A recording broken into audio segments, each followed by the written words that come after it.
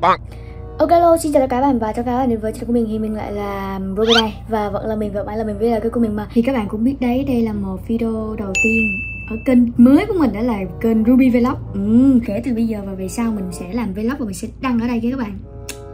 Và mình sẽ làm những vlog hàng ngày nè Đường sống hàng ngày mình sẽ làm gì, mình ăn gì, mình ngủ trên gì Mình đi tắm ngày bao nhiêu lần. Giỡn thôi.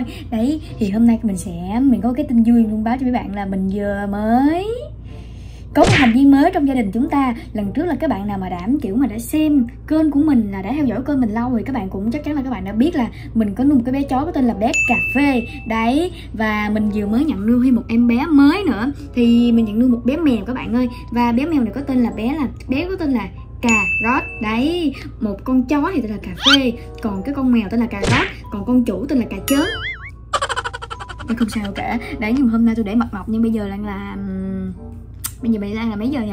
Bây giờ đang là tầm 8 giờ sáng. Ấy đó và mình quyết định là quay vlog là mình sẽ giới thiệu sau mình sẽ đăng lên kênh Vubi vlog luôn. Uhm, tôi sẽ cho các bạn xem con mèo nhé đừng có mê nhé. Ok đây là một cái phòng của mình và bây giờ mình sẽ bước đi ra ngoài. Đấy bây giờ là tầm là 7 giờ sáng rồi.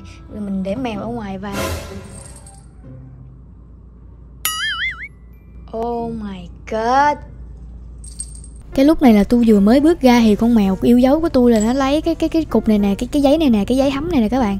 Tôi để cho cái của cái bác ấy, thì nó đem đi qua, nó nó xé. Đây, bây giờ tôi sẽ để lại nè. Con mèo nó quậy kinh dị luôn mấy ông ơi. Đó, mới sáng mà tôi đã thấy nó bài binh bố trận như vậy rồi. Mọi người có thể nhìn thấy đây là con mèo rất là dễ thương của tôi. Nó có tên là cà rốt. Ồ, nhìn là dễ thương liền ba. Nhưng mà nhìn mặt nó hơi ngáo, nhưng mà con chủ nó ngáo hơn. còn đây là cái bà cà phê nhà tôi các bạn ơi, bả là giống cái nha. Còn cái con mèo kia là giống đực. Đấy là cái con chó này là chắc chắn nhiều bạn cũng biết rồi đó.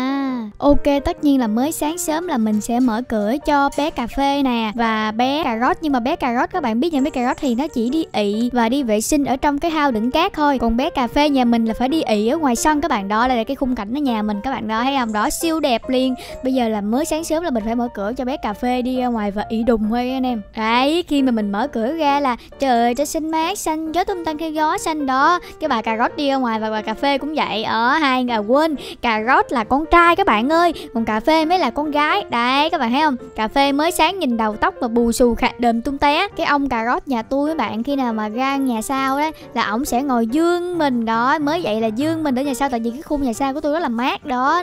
Nên là cái con mèo của tôi rất là thích các bạn ơi. Đây bây giờ tôi sẽ ẩm cái ông cà rốt lên cho các bạn coi đó. Ú nu ú na luôn. Rồi rồi ơi đó thấy không? Nặng như lại khó tính lắm các bạn à. Tôi không hiểu sao sáng sớm tôi với có con cà rốt và con cà phê làm cái gì nên tôi thấy có các bạn cà phê ngồi lại kìa. Đấy, bây giờ tôi sẽ ẩm hết hai đứa này để nhìn hai đứa cưng chưa kìa. Đấy, quá trời dễ thương nhìn con cái mặt tôi thấy gớm rồi các bạn ơi. Bé cà phê hiện tại nhà mình là lông hơi dài các bạn ơi, tại vì dịch nhiều quá nên mình không thể nào mà dẫn bé đi cắt lông được. Đấy, và khi mà nhìn qua cái con quỷ cà rốt thì các bạn biết cái gì không?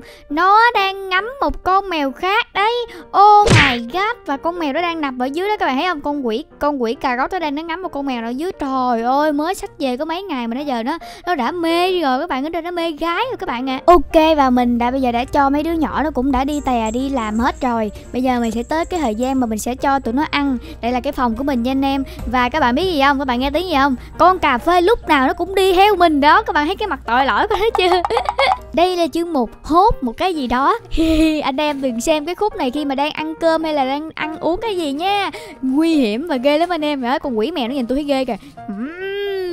Trời ơi, cái này một ngày cực hình của tôi đó mấy bạn ạ. À. Đưa cô bây giờ tới lúc tôi sẽ cho tụi nó ăn. Đấy và con mèo nó đây giờ nó thèm ăn lắm rồi. Đây các bạn có thể thấy cái bàn của tôi để rất là nhiều đồ ăn cho mèo và chó. Bên đây là cái này là tả lót cho chó và mèo này. Đó và cái này là mấy cái bịch này là mấy bịch cát cho mèo. Các bạn ơi Tôi nói nó trời ơi mình phải mua quá trời luôn. Đó đây là ba bịch cát mình đang có ở nhà luôn nè. Đây là có mình có là thức ăn. Và các bạn thấy cái này không? Cái này là cái đồ hốt phân đấy các bạn ơi. Đấy trông xịn thực sự luôn. Đấy nhìn trông chuyên nghiệp thực sự các bạn à Đó và đây là mấy cái đồ ăn cho mèo và chó. Đây là có súp hưởng cho mèo nè. Ở các bạn thấy không? Bây giờ mình còn có hai bịch thôi. Và bên đây là cái này xương gặm cho chó này hay vân vân Và may may đồ cho con chó và con mèo các bạn nha. Đây bánh thưởng cho chó này Rồi súp cho chó này đủ thứ luôn các bạn ơi. Mình nói là mình rất là cưng hai con này luôn Cực kỳ cưng luôn.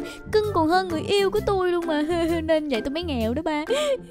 Bây giờ cái đến cái lúc mà tôi phải cho tụi nó ăn các bạn ơi. Cho tụi nó ăn để cho tụi nó ngồi Nó không nhìn tụi nó, nó không kêu nữa Chứ mỗi sáng mà ngồi tụi nó la làm tụi nó kêu rồi tôi biết tôi mệt luôn. Đây là mình sẽ cho con quỷ cà rốt ăn trước nha các bạn và mình sẽ cho bé cà phê ăn sau. Đây con cà rốt nó ham ăn đúng cực kỳ ham ăn luôn. Và khi mà mình cho bé ăn thì mình luôn trộn ờ, tất cả các loại hạt vô tại vì bé này ăn rất là dễ các bạn ơi. Đấy mình trộn cái tất cả các loại hạt vô cho nó ăn có một cái gì đó nó thật là lạ lùng. À, con quỷ này nó ham ăn kinh điều luôn các bạn ơi. Đó bây giờ mình sẽ trộn từng loại hạt vô cho nó ăn nha. Đây là tôi sẽ bỏ hạt vô cho nó ăn nè. Tôi sẽ cho các bạn xem cái cảnh tượng. Đấy con quỷ mèo nó còn còn hửi đồ ăn nó còn đòi ăn trong kia mà. Đó, cà phê chỉ biết nhìn thôi, còn con mèo, các bạn thấy con mèo chưa? Nó ăn mình nó ăn, nó táp như con lợn các bạn. Tú mấy này phải là con mèo hay là con lợn, không biết các bạn thấy nó ăn ghê chưa? Trời ơi, thiệt chứ. Đấy, anh em thấy nó ăn ngấu nghiến không? Nó ăn như vậy nên bây giờ nó mới mập, các bạn thấy nó mập không? Quá trời mập, các bạn xem cái bụng cái người đó kìa. Nó khác gì con heo không? Biết thì tôi đặt cho nó lên là con heo các bạn ơi, chứ tôi không thể nào mà tôi đặt cho nó là con quà gót được. Đấy, nó mập, nó ăn kìa, nó ăn thật là nhiều luôn bạn. Còn con quỷ cà phê các bạn thấy không? Nó ốm rờm luôn, mình cho nó ăn mà nó không thèm chịu ăn các bạn. Con cà phê nó chỉ khoái dở thôi các bạn thấy không? Cà phê hen bây giờ mình để cái lông của nó nó mập mà nó không thấy cái đôi mắt của nó các bạn. Đấy, mình nói là cưng bé cà phê này luôn các bạn ơi. Đây giờ mình chỉ có hai bé thôi. Đây là cái nhà, cái chuồng này. Đấy, các bạn hãy chơi cà phê rất chi là dễ thương luôn. Đây, trời ơi, siêu dễ thương luôn ba ơi.